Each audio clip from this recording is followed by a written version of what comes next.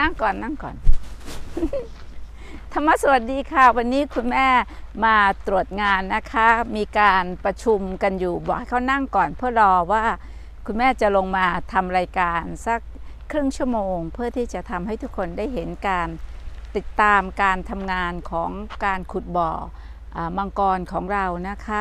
ก็มีเนี่ยค่ะจอยสัจใจดี สมชายแล้วก็ เสียนินนะคะ นั่งประชุมกันอยู่ ขอเวลาเขาออกอากาศแป๊บหนึ่งวันนี้ทำงานทั้งวันเลยค่ะ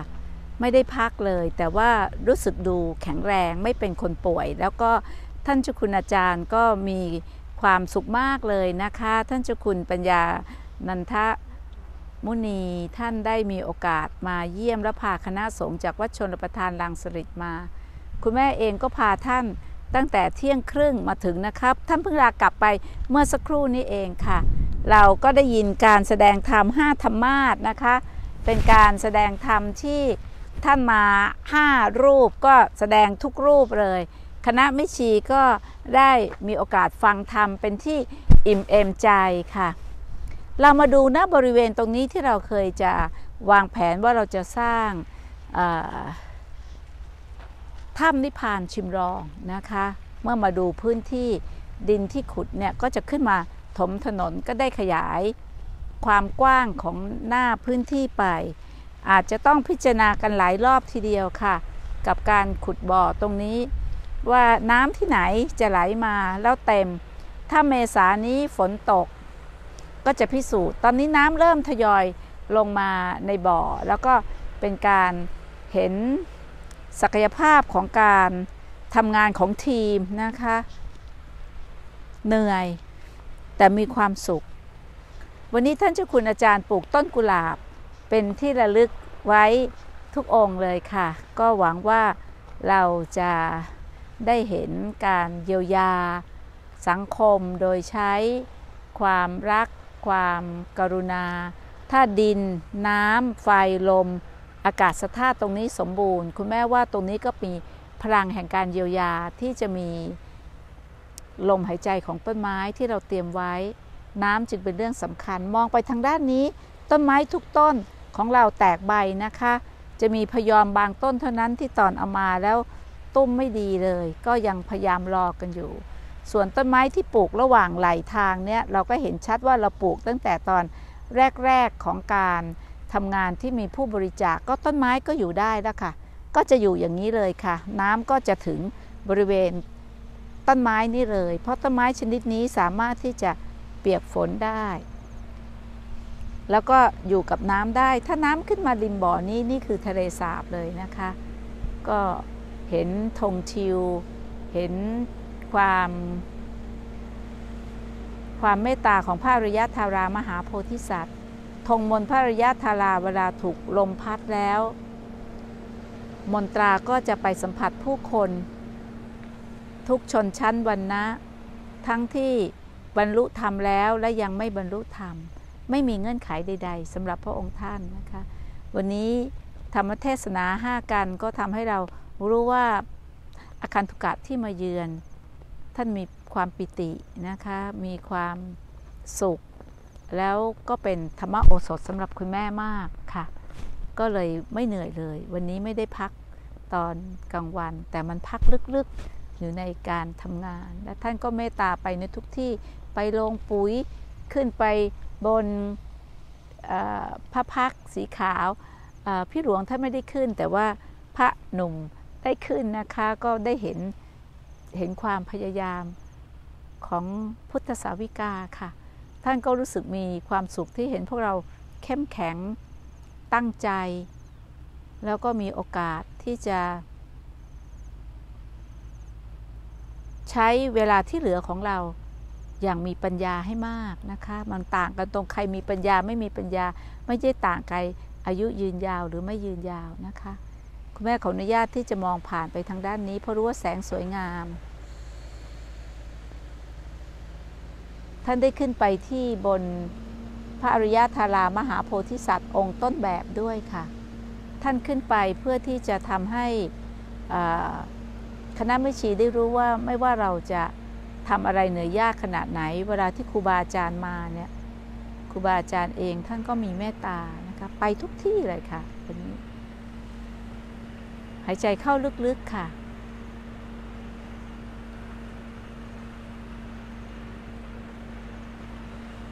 เสียงสายน้ำที่กำลังถูกดึงมารวมกันในอ่าวบางกรได้ทำให้เราหายเหนื่อยนะคะ อีก ไม่ถึงเดือนในช่วงเมษายนก็จะตกหนักอีกครั้งหนึ่ง เราเรียกว่าเป็นฤดู ฤดูกาลของคนที่แก่งกระจานจะรู้ว่ารอคอยวันที่ 13 เพื่อที่จะทำให้เรามีน้ำเต็มบ่อ เต็มไม่เต็มไม่รู้แค่มองเห็นอย่างเงี้ย เห็นเงา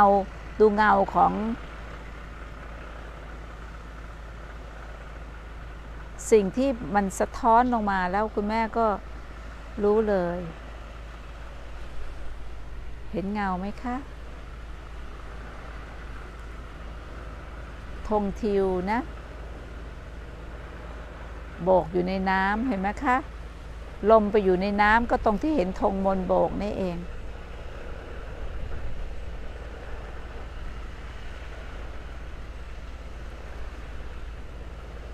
วันนี้เหนื่อยกันไหมล่ะคะ ใครที่กำลังเดินทางกลับบ้าน ถ้าเรารู้สึกว่าเราเหนื่อย ก็อย่าลืมกลับไปที่ลมหายใจนะคะ กลับไปที่ลมหายใจ หายใจเข้าลึกๆ บอกตัวเองว่ากายอยู่ที่นี่ใจก็อยู่ที่นี่ กายใจเป็นหนึ่งเดียวกันในปัจจุบันขณะ ถึงแม้เราจะเดินอยู่ตามลำพัง แต่เราก็ไม่ใช่เป็นคนที่เจริญสติอยู่คนเดียวในโลกนี้นะคะ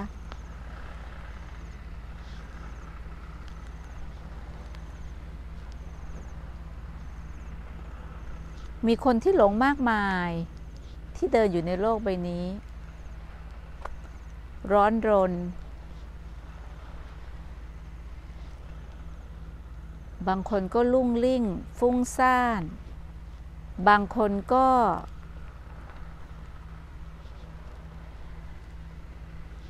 ซึมอยู่กับเรื่องที่จบแล้ว มีหลายเหตุการณ์ในชีวิตของเราที่เราเห็นว่ามันเป็นครูได้ ลองฝึกที่จะทำงานเช่นนั้นนะคะ ฝึกที่จะอยู่กับปัจจุบันขณะ ศึกษาอดีต เพื่อลงทุนใหม่ในปัจจุบัน แม้มันอาจจะเคยมีข้อผิดพลาด คุณแม่จะเดินกลับเนาะเหมือนเดินจงกรมเลย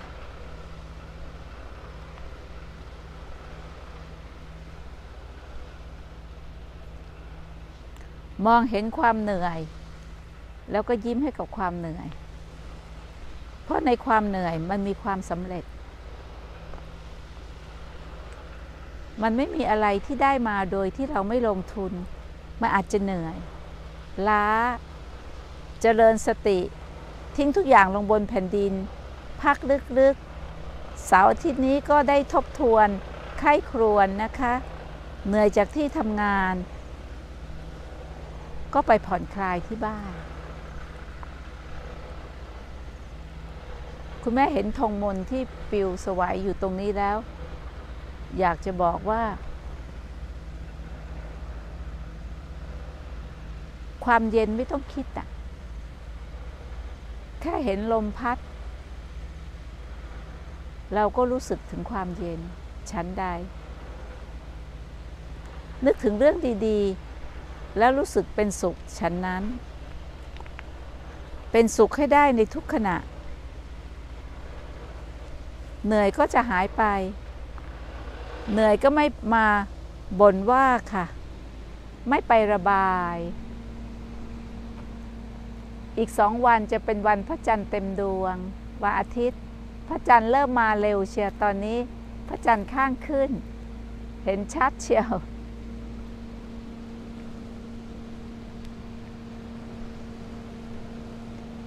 เห็นน้ำแล้วชื่นใจวันก่อนพี่ติ่ง บอกว่าคุณแม่ต้องมาดูน้ำเห็นน้ำแล้วชื่นใจ ชื่นใจจริง ๆ ค่ะ เห็นลม เห็นน้ำ เห็นไฟ พระอาทิตย์กำลังจะตก พระจันทร์ขึ้น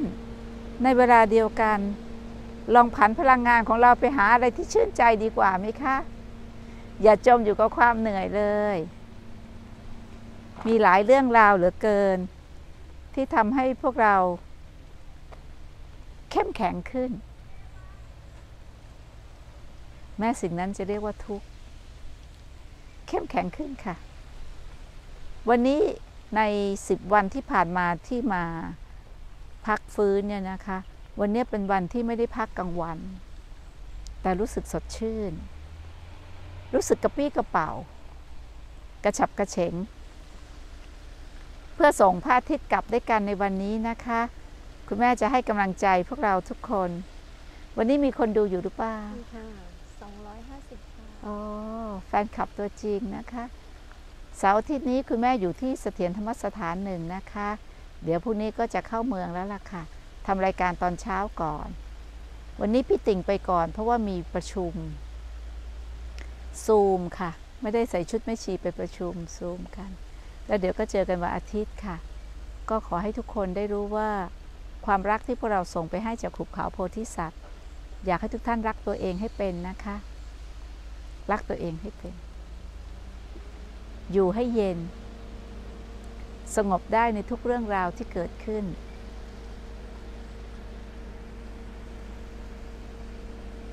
ที่ใดมีธรรมะ ที่นั่นจะมีความปลอดภัยค่ะ ใครสนใจ ที่จะมาบวชเรียนก็สมัครมาได้เลยค่ะ วันพรุ่งนี้ที่คุณแม่จะกลับไป ก็เพื่อวันเสาร์ก็จะได้ไปคลิปผมผู้หญิงที่เตรียมบวชเมษายนวันที่ 10 นี้ก็จะมาบวชกันมากเลยนะคะ สงการก็ปิดกันยาวๆ ก็มาบวชเรียนกัน แล้วก็ที่นี่คือบ้านของเราค่ะเป็นบ้านเรา เป็นบ้านที่เราต้องทำงานหนัก แล้วต้องมีชีวิตที่สงบเย็นให้ได้ อยู่อย่างมีความปรารถนาว่า เราจะไม่หลงทางในชีวิตที่เหลือของเรานะคะ แสงอาทิตย์ที่รอดส่องจากต้นไม้ทำให้เราเห็นเลย ว่าทุกอย่างมันมีความลงตัวของมันอยู่ เราบังคับโลกไม่ได้ ไม่มีอะไรเป็นดังใจเรา แต่เราสามารถอยู่อย่างผ่อนคลายได้ ในทุกเรื่องราวของการเป็นนักสู้ ในทุกเรื่องราวที่พวกเราจะต้องเข้มแข็ง เข้มแข็งแล้วยังสร้าง ความสงบเย็นทั้งภายในและภายนอก อย่างนี้ก็เรียกว่าเข้มแข็งอย่างแท้จริง สถูปะอันนี้ค่ะ ถูกตั้งขึ้นเป็นตำแหน่ง ถานที่นิพพานชิมลอง เพื่อให้ผู้หญิงได้มีโอกาสได้ปฏิบัติ มองธงที่ไหวๆฝั่งหนึ่งพระอาทิตย์ตก พระจันทร์ขึ้นเกือบตรงศีรษะแล้วดูสิคะ ชีวิตแค่นี้เอง ไม่มีอะไรน่าตื่นเต้นอีกแล้ว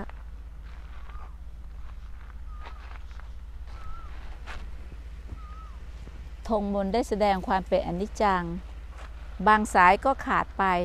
แต่สายที่ขาดไปทำให้เราเห็นพระจันทร์ชัดเลย สวยงามนะคะ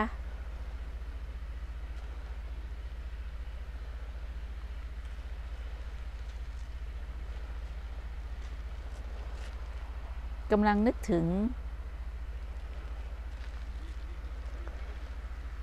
การหาวิธีระบายความเหนื่อย ที่จะให้ท่านใช้กับเสาร์อาทิตย์นี้ เรื่องแรกคือใช้เทคนิคคืออนาปนสติภาวนานะคะ แล้วก็มีลมหายใจเป็นเพื่อน จะหลับตาหรือไม่หลับตาก็ได้ ในอิริยาบถที่นั่งหรือนอนอาจจะหลับตา แต่ยืนแล้วเดินเนี่ย ก็ให้เรารู้สึกได้เหมือนคุณแม่อย่างเงี้ยค่ะ อาจจะต้องมีที่ยึดหน่อย แล้วก็แตะเบาๆ ยืดลำตัวให้ตรง ปล่อยไหลให้สบาย กลับไปอยู่กับลมหายใจเข้าอย่างอ่อนโยนในท่ายืนเราอาจจะลดตาลงต่ำหรือมองออกไปไกลๆ มองออกไปไกลๆ ที่มันไม่มีอะไรเป็นของเรา ไม่มีความกังวลใด ๆ ไม่มีอะไรที่เราต้องห่วง ให้เรารู้สึกได้ว่าเราเป็นอิสระ วันละสัก 5 นาที 10 นาที 15 นาที 20 นาที เราเหนื่อยมาแล้วอย่าส่งจิตของเราไปเล่ล่อนดิ้นรนกับอะไรที่มันก็จะทำให้เราเหนื่อยมากกว่านี้ ความสุขที่ได้จากความสงบ และการจดจ่อจิตอยู่กับลมหายใจ อาจจะทำให้เราได้พักลึก พักลึกๆ รู้จักตัวเอง เห็นจุดอ่อนของเราอย่างอ่อนโยน แล้วขอบคุณทุกเรื่องราวที่ทำให้เรามีภูมิคุ้มกันที่จะเป็นจุดแข็ง ถ้าเราผ่านโลกใบนี้ จนกระทั่งเรารู้สึกได้ เรารู้สึกได้ ว่าเราเอง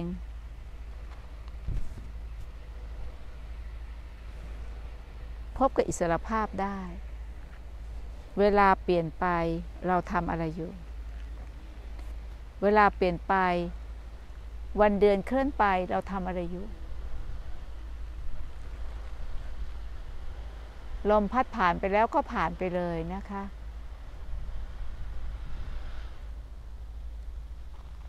เราจะอยู่กับลมให้สวยงาม บางทีเราก็ต้านลมไม่ได้ละค่ะ กระแสโลกเป็นอย่างนี้ ก็เพียงแต่อยู่กับเขา อย่างมีจุดยืน เราไม่ต้องทวนกระแสค่ะ เราเราต้านกระแสโลกไม่ได้ เราไม่ทวนกระแส